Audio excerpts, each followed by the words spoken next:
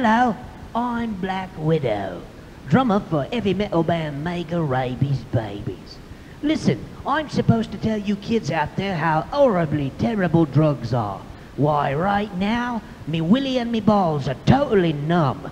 And me asshole is just as floppy and open as a fucking queer on the streets of downtown San Francisco. And that comes from smuggling balloons of dope through customs in me bum right through airports. Why, when I shut up about an hour ago, the only place left on me body where I could stick my needle was in my left testicle. And fuck, it really, really stung for a minute. Oh, sure, the drugs feel great right after you take them. But when they wear off and you haven't any more money to support your habit, why, you'd rather pump jalapeno juice down your pecker than go through the goddamn DTs, mate.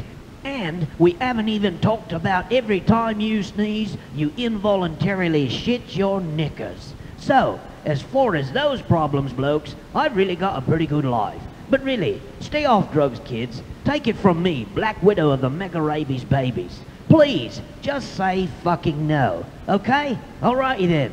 Bye now.